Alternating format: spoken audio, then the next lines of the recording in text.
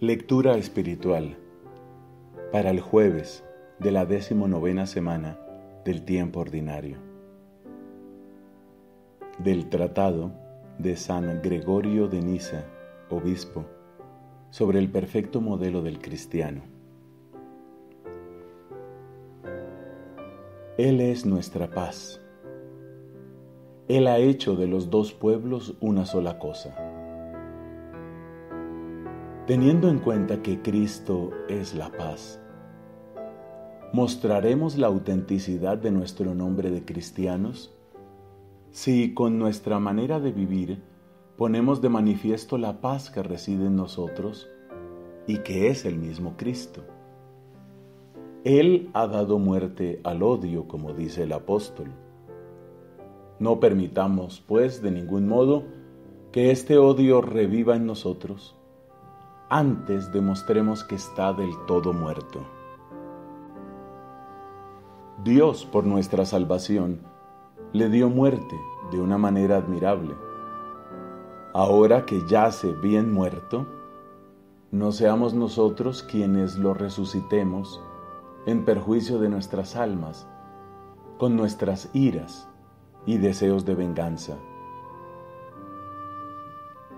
Ya que tenemos a Cristo, que es la paz, nosotros también matemos el odio, de manera que nuestra vida sea una prolongación de la de Cristo, tal como lo conocemos por la fe. Del mismo modo que Él, derribando la barrera de separación de los dos pueblos, creó en su persona un solo hombre, estableciendo la paz, así también nosotros, atraigámonos la voluntad no sólo de los que nos atacan desde fuera, sino también de los que entre nosotros promueven sediciones, de modo que cese ya en nosotros esta oposición entre las tendencias de la carne y del espíritu, contrarias entre sí. Procuremos por el contrario someter a la ley divina la prudencia de nuestra carne y así Superada esta dualidad que hay en cada uno de nosotros, esforcémonos en reedificarnos a nosotros mismos, de manera que formemos un solo hombre y tengamos paz en nosotros mismos. La paz se define como la concordia entre las partes disidentes.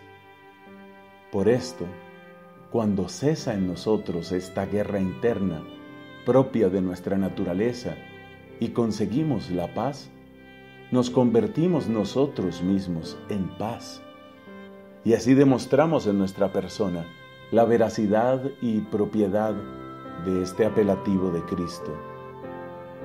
Además, considerando que Cristo es la luz verdadera, sin mezcla posible de error alguno, nos damos cuenta de que también nuestra vida ha de estar iluminada con los rayos de la luz verdadera.